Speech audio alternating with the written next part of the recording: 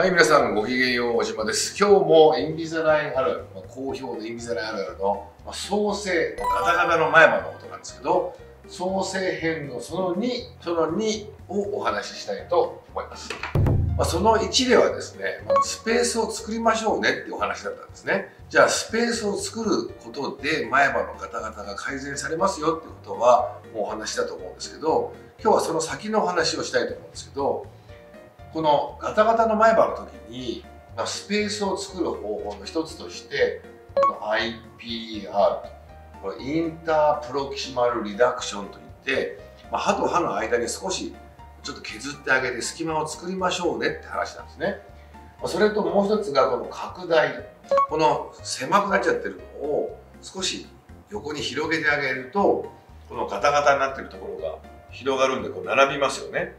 それがこの拡大っていうんですけど IPR っていう隙間を作ることとこの拡大っていうものがまずね取り上げられるんですけどスペースを作るには、まあ、どっちの方が有効なんですかってことなんですね。スペースを作ってその後にこのガタガタの前歯を並べていきたいんで、まあ、ガタガタでこう重なっちゃってるってことはここの重なってる部分をこう並べたいわけですねこういうふうにね。そのためにはここにスペースがぐっと広がってくれると並べられる。もしくはここの重なってる部分を少しずつ隙間を作ってあげて歯そのものをちっちゃくして並べましょうと、まあ、そういう2つの考え方ですね。じゃあまずこの IPR ねインタープロキシマルリダクションと歯と歯の横の部分隙間を作るのは以前僕のインビザラインの YouTube の方でも IPR のところ特集してますんで詳しくはそちらを見ていただきたいんですけどまず IPR というとこのフィリオン先生の IPR チャートっていうのがありましてこれが1995年に出た論文なんですね。でこの論文を見るとまず上顎上の歯の1番目で右上1番右上2番右左上1番左上2番でそれぞれこの近親側ね遠心側っていうんですけど歯があってこちら側が近親こちら側遠心っていうんですけど0点こちらの遠心側が0.3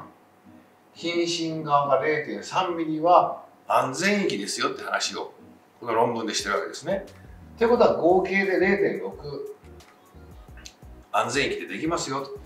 ということはこの前歯の12右上の2番右上の1番左上の1番左上の2番。そしてこの剣士のねこの間の部分。ここと 1, 1箇所2箇所3箇所4箇所5箇所っていう風な5個の場所に IPR というのを、ね、行って 0.6×5 ね、すると3.0ミリ。3.0ミリの隙間が作れますよと、ね、上の歯の時には。3.0ミリね。このフィリオンの IPR チャートをもとに、まあ、安全域の中でするとしたら3.0ミリ作れますよと。で今度下はどうなのかと。右下が41右の下の2番目が42左下の1番が31で左下の2番が32だとしますと0.21箇所。ここ0.2、0.2が安全域ですよってお話なんで、まあ、合計で0.4作れますと。でこれがまた、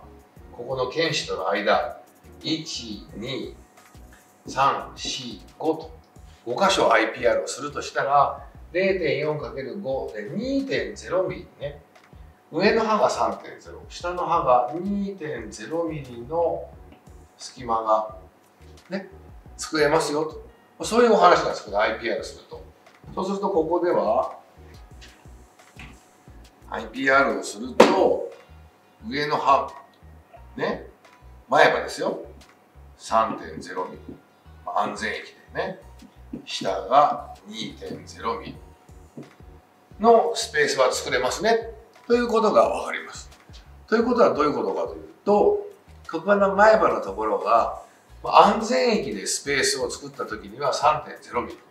上顎が下が2.0ミリのスペースができます IPR 単独だとねじゃあ次は今度拡大のお話をしたいと思うね。こっち側が IPR こっち側が拡大のお話なんですけど拡大ってこれ歯がこうね歯列というのがありましてこれね歯がこう並んでるんです。こうやってビーッと。わかります？こうやってね。でこれをここの小球歯のところを拡大前歯の剣歯と剣歯のところを拡大まあ大球歯のところ拡大できるんですけど、まあ、今回はこの前歯の方のガタガタのお話なんでこの剣歯のところね3番から3番を片側2ミリちょっと拡大してあげる広げる。でこちら側の方も2ミリぐっと拡大してあげるとそれだけで合計4ミリ拡大できるわけですね。片側2ミリですよ。ちょこっと。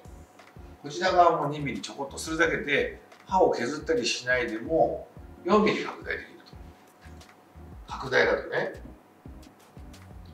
拡大。2ミリ2ミリで4ミリと。これってすでにもう IPR の量よりかもちょっと見えづらいと少し多く書きましょう多いですよねってことなんですね2ミリ2ミリの拡大だけでですよで拡大には2つの方法があって根っこの部分を中心としてこれをキュッと起き上がらせるような拡大をアップライトって言います。で歯そのものをぐぐっと押す形ね速報拡大と言うんですけど、まあ、これはどうやって使い分けるかというとここの骨の量ですね。骨があんまりない時にはアップライトというのをするぐらいにしておいて骨があるなと思ったら速報拡大で広げてあげると。で通常のワイヤー矯正マルチブラケットとかですと大体こちらかこちらのどちらかなんですね。ぐーっと狭くなっちゃってるのをぐーっとレベリングといってこう歯列を並べていくんですまず。なので通常のマルチブラケットという針金のワイヤー矯正の時にはまずこちらの拡大を先に行うんですよ。ということはどういうことかというと前歯がガタガタな創生くんねの時に一番初めに行うのは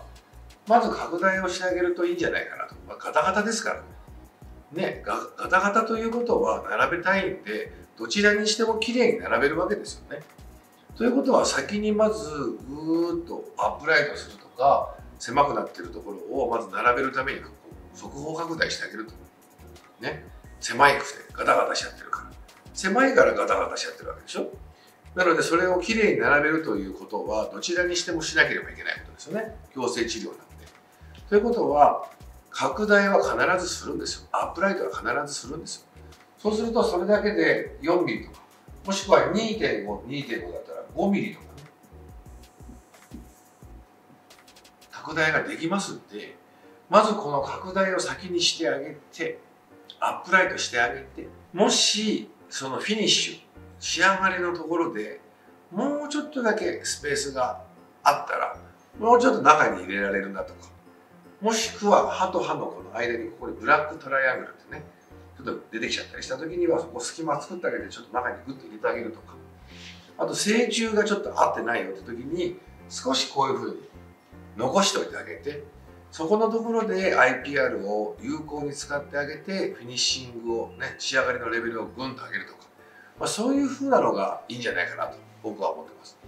なので今日のねお話なんですけど結構専門的なお話なんでま先生じゃないとわからないかもしれませんし患者さんでも分かるようにお話をしてるんですけどインビザラインのあるあるで創生のその2このガタガタの前歯の時にどんな感じでまずスペースを作って歯を並べますよねってお話をその1でしましたよね。でその2の時にはこの拡大と IPR をどういうふうに使い分けていくのかどっちの方が順番的にいいのかとかね戦略的にそういうお話をさせていただきました。この後オンラインサロンの方でお話しするのがでこの拡大をするときにどういうふうに拡大するのとさらに IPR するときにうちではどういうふうに IPR するのっていう話を実際の臨床のねその写真とかも踏まえながらお話しさせていただきたいと思います。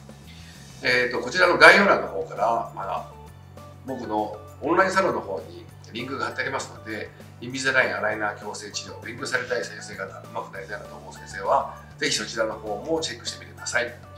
あと、えー、今日の YouTube の内容がですね、面白いなと、もしくは勉強になったなと思う方は、ぜひ高評価ボタンとチャンネル登録の方よろしくお願いします。最後までご覧いただきありがとうございました。それでは皆さん、ごきげんよう。またね。そうさっきまで菅原淳二先生と一緒にいたから、さらになんかこう、自分を見るとこの小僧感が半端ないですね。はい。拡大をするっていうことはどういうことか、3つのことを考えなきゃいけないんですよ。え？って思うでしょもう CT がなかったらダメでしょで、次、これね、拡大ですよ。これね、結局拡大だけで終わっちゃうから、今日。